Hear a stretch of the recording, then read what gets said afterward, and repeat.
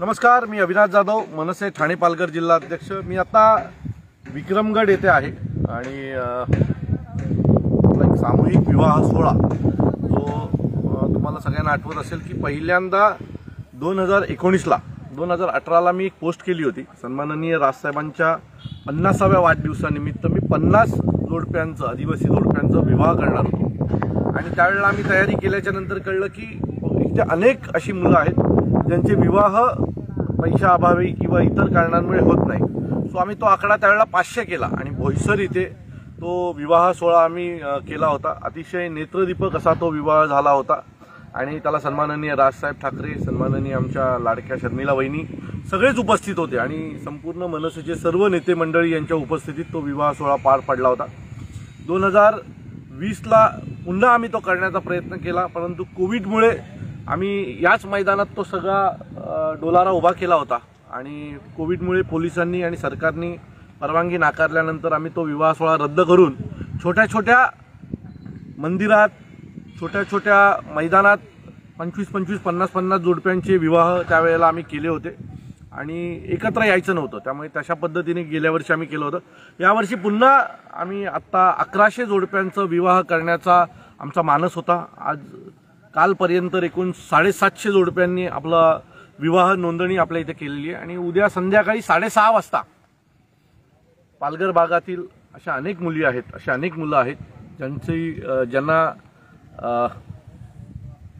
लग आर्थिक परिस्थिती व्यवस्थित नसल्यामुळे लग्न करता येत नव्हतं. अशांसाठी आमच्या महाराष्ट्र नवनिर्माण सेना पक्षातर्फे हा कार्यक्रम आयोजित केलेला आहे. उद्या संध्याकाळी अतिशय उत्साहात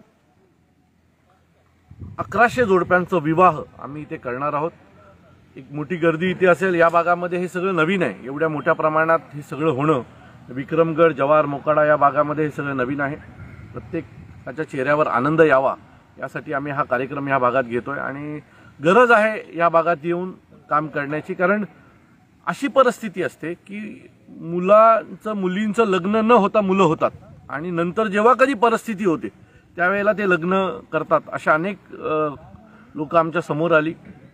उद्याच्या लग्नात उद्याच्या कार्यक्रमामध्ये आम्ही आत्तापर्यंत सातशेचं साडेसातशेचं जरी रजिस्ट्रेशन झालं असेल तरी आताही लोक येत आहेत. उद्या हा आकडा अकराशेपर्यंत जाईल असं मला वाटतं आहे सन्माननीय साहेब आमच्या लाडक्या वहिनी यांच्या उपस्थितीत हा सोहळा होणार आहे. पक्षाचे नेते आमदार राजूदादा पाटील अभिजित पानसे साहेब त्याचबरोबर कामगार सेनेचे सचिन गोळे असतील इतर सगळेच पक्षाचे सर्वच नेते मंडळी उद्या इथे उपस्थित आहेत.